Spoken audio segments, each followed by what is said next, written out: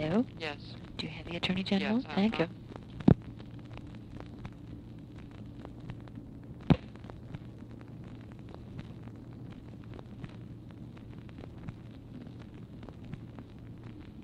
Yeah, The Attorney General on oh, 90. you got this, Marie.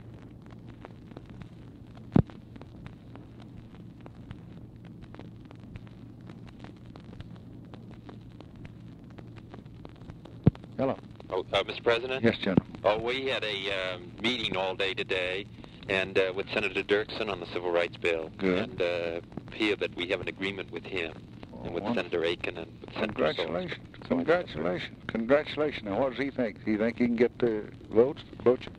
Well, he's hopeful. He's going to have to go back, and they're going to have a uh, meeting of the Republicans on Tuesday morning.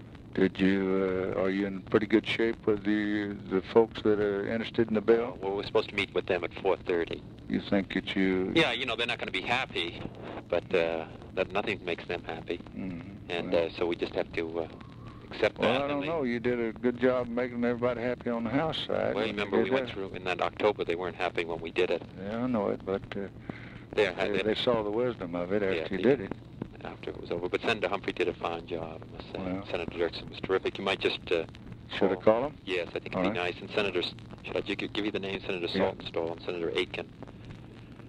All And right. uh, Phil Hart was damn helpful. Right. And uh, Senator Magnuson, very helpful.